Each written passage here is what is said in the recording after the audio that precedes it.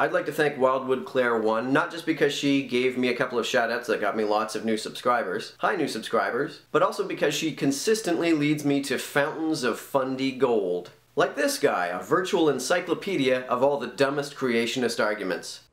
We're here because there's an intelligence, a design, a purpose, or we are here because everything is just an accidental occurrence of biological forces.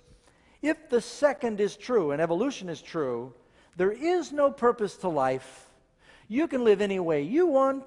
There is no God you will be accountable to. The reason that the religion of evolution is so important to so many is because they don't want to be accountable to God. They do not want to be held responsible for their actions. This is something that I hear fundies say all the time. The only reason that you deny that God exists is not because you really believe that God doesn't exist, it's because you want to get away with sinning. Fundies who say this must think that atheists are as dumb as they are. If somebody really believed that God exists, why would they think that simply denying that he exists would allow them to get away with sinning? Do fundies really believe that atheists say to themselves, hmm, God will send me to hell if I sin, but I don't want to stop sinning. How can I get around this? I know. I'll just say that God doesn't exist.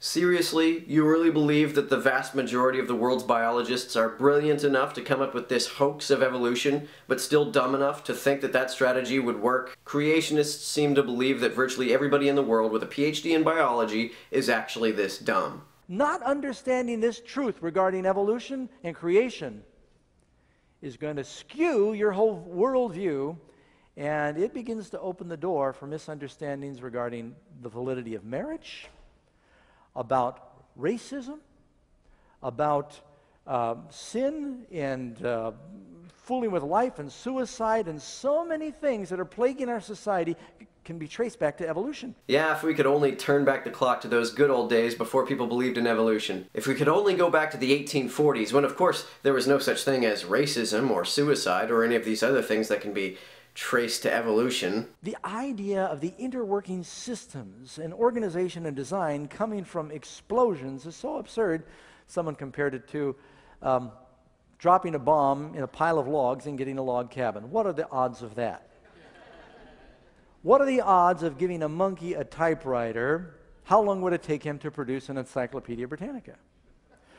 Can you throw a bomb in a junkyard and get a Boeing 747 or the space station? It's just as plausible to believe in evolution that the organization and the intricate design that you've got in a single cell of life, not to mention the human body, could happen by something exploding.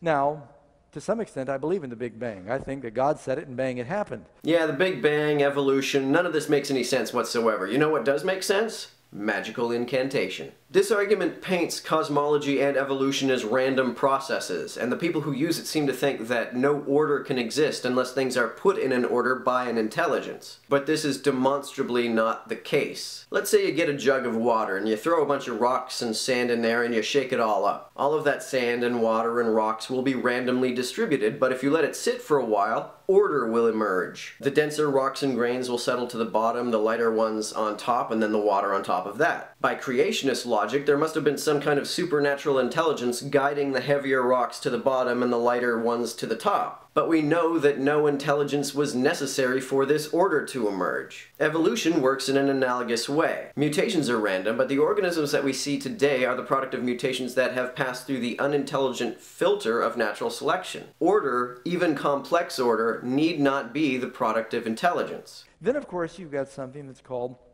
the law of entropy. Evolution operates on the basis that things are getting better. But every, now I didn't say the theory of entropy, it's the law of entropy, which is the inevitable and steady deterioration of a system or society from order to disorder. Everything we observe in the world today, anything left to itself without outside energy being put into it, without intelligence being added to it, it falls apart. And of course, everybody knows that the Earth has no outside source of energy. And where does the law of entropy say anything about intelligence? Microevolution is very different from macroevolution. Let me see if I can read a definition for you here.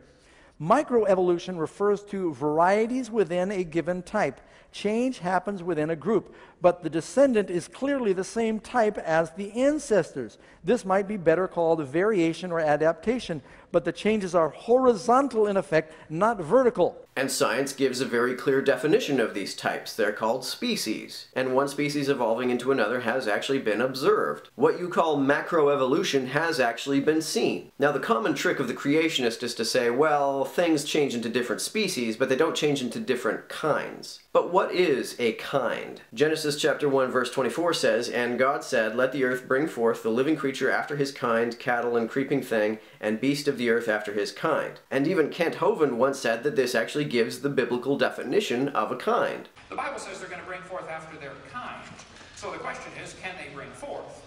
And the dog and the wolf can mate and bring forth. They're the same kind. The dog and a banana cannot. They are not the same kind. Well, interestingly enough, that is the scientific definition of a species. According to the definition of kind given by your fellow creotard Kent Hovind, we do actually see things change from one kind to another kind. So stop giving me this BS about how we don't see macroevolution, we don't see things turning into other kinds. Even by the biblical definition, we do see animals change from one kind to another kind.